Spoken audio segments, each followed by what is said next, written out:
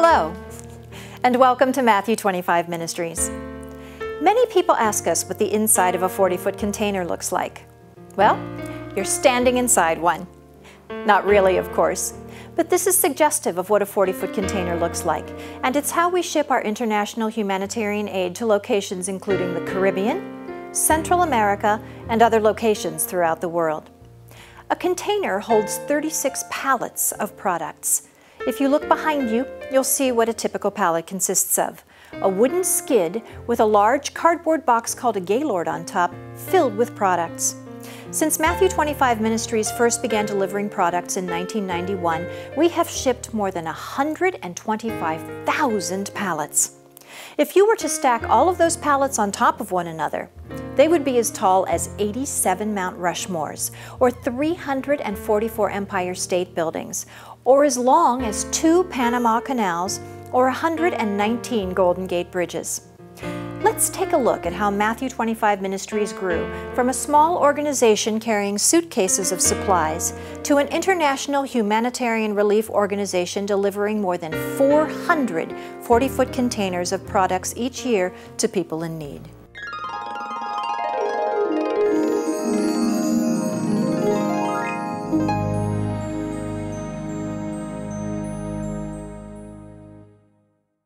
Matthew 25 and, and the Center for Humanitarian Relief, uh, what they do best is really get things that people need around the world that they can't get for themselves into their hands. I can see in these faces that it is very much appreciated. There is hope there. Uh, we have a hope that we can do things by ourselves, that we have friends and other place that can give us little hands to help us to get up.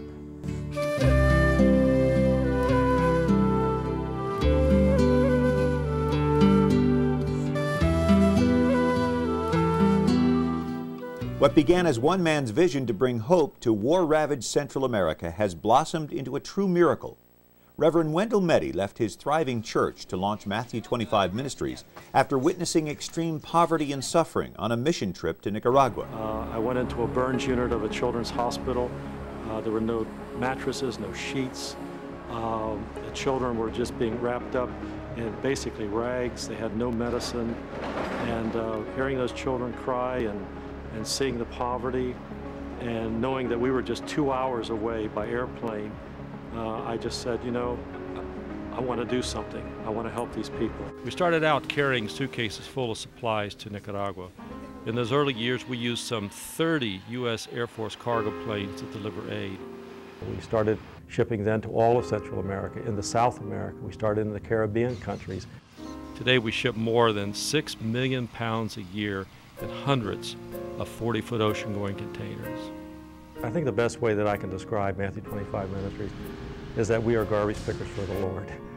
That we go into uh, U.S. corporations and we look around their facilities and we find products that uh, maybe cannot be put back on the shelf. Uh, they don't know what to do with them.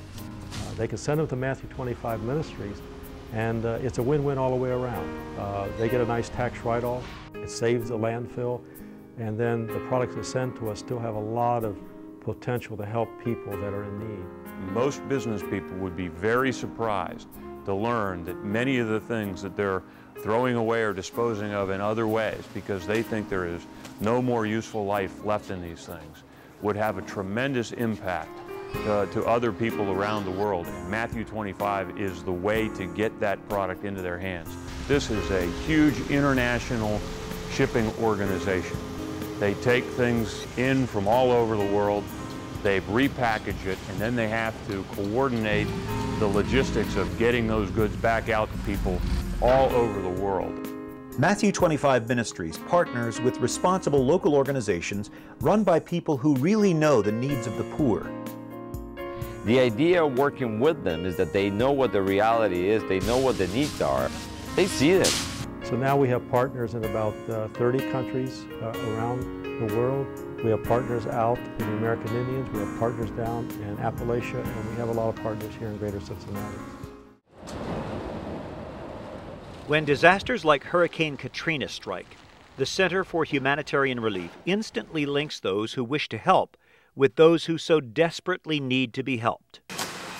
I'm amazed at what they're doing here. It's ongoing from early morning to late at night. We've actually worked Saturdays and Sundays throughout this ordeal. People have just flocked in from all over the city. Uh, black, white, young, old, boy, girl, uh, Christian, Jew, they've all come and they've all pitched in. People are going to need things for a long time, so I mean, it's, it's not a sprint, it's a marathon. Just helping out the victims of Katrina. We're just lending them a hand.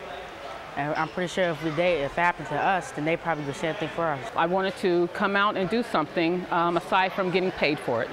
They will continue doing this as long as there is a need. So that motivates me. They know how to get the stuff packed. They know the people to talk to to get it to where it's going to do some good. I mean, it's getting there and it's getting there quick. It is amazing to see goods that would have been thrown away make their way to the poorest of the poor in some of the most remote corners of the world. I personally tracked a shipment to a tiny Nicaraguan village.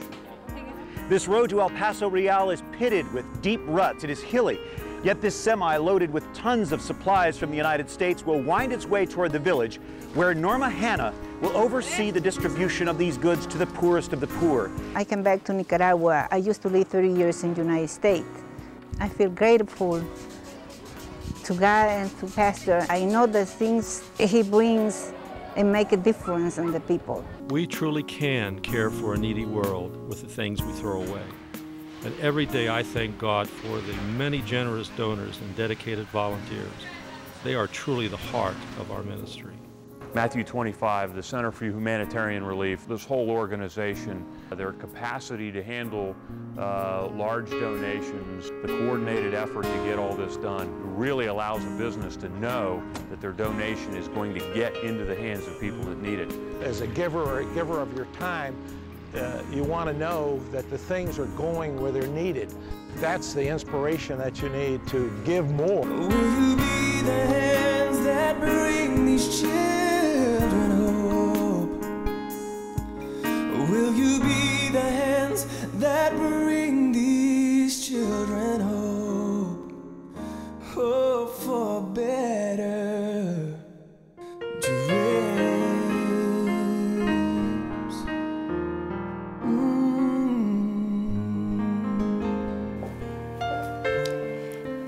Imagine receiving a 40 foot container filled with products and goods valued at nearly $200,000. Now that you've seen how and why we ship our aid to developing countries, I'd like to invite you inside the world of one of those countries by stepping into the next room. Please remember that our global village is representative of developing areas throughout the world and also some parts of our own country, remote Indian reservations, isolated parts of Appalachia, and other areas. Thank you for visiting Matthew 25 Ministries today and enjoy your trip around the world.